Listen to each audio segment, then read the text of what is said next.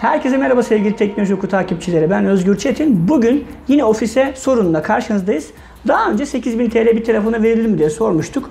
O zamanki aslında sorduğumuzun muhatabı biraz da Samsung Galaxy Note 9'du. Fiyatı 8000 lira çıkmıştı.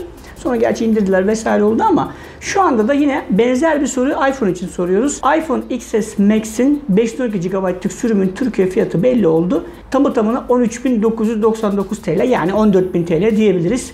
Ofise sorduk biz de 14.000 TL bir telefona verir misiniz diye. Veren diyen kısmen diyen oldu. Genelde pek kimse vermek istemiyor bir telefonu 14.000 TL. Ee, benim kişisel fikrimi merak edenler için de söyleyeyim. Evet ben de bir telefonu 14.000 TL vermem. Çünkü 2, bilemediniz 3, hadi çok zorlayın 4 sene sonra bu telefonu değiştireceksiniz. O yüzden 14.000 TL gibi çok yüksek bir rakamı vermeyi çok mantıklı bulmuyoruz. Ama gelin bakalım ofisteki diğer arkadaşlar neler düşünüyor ve bir telefona 14.000 TL verirler mi? Hep beraber izleyelim. Evet Rukin Hanım siz ne diyorsunuz? Bir telefona 14.000 TL verilir mi? Yani tamamen ekonomik güçle alakalı olduğunu düşünüyorum. Aylık 50 bin kazanan biri bence 14 bin verebilir ama maaşı 5 binin altında birinin bu kadar e, büyük bir rakamı telefona vermesi bence görgüsüzlük. Sen verir misin? Ben veremem fakirim ben nasıl vereyim?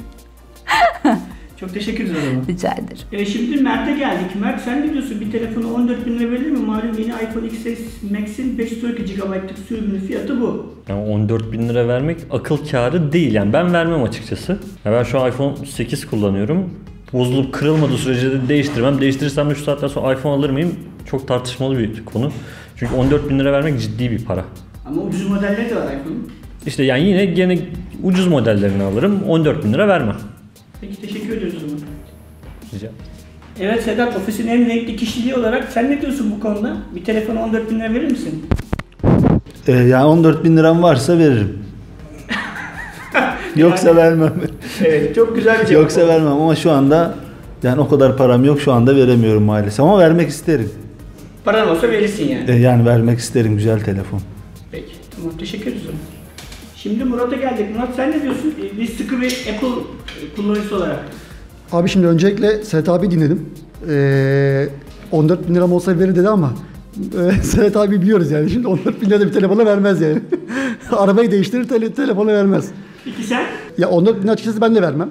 Yani normal şartlarda hani işte 6 olsa, 7 olsa, 8 olsa hani bir şekilde belki gözden çıkarırım ama 14 bin lira gibi bir rakamı vermem. Sonuç olarak hani baktığı zaman bir MacBook fiyatı, bilgisayar alıyorsun o fiyata veya hatta ikinci el bir araba bile alabilirsin yani. Bak, bak zorla, zorlasan var yani. Şahin falan olur. Şahin falan alınır aynen öyle. Araba alınır o yüzden e, ben vermem yani o parayı. Yani daha ucuz model De, de- değmez yani 14 bin lira. de- etmez diyorsun. Değmez yani. Peki teşekkür ederim. Rica ederim. Evet Ünsal sen ne diyorsun? Bir telefona 14 bin lira verir misin? Ee, kimden bahsediyoruz? iPhone XS Max'in en üst kapasiteli 512 GB'lık sürümü. Şimdi şöyle. ee, ben bir telefona 14.000 TL vermem.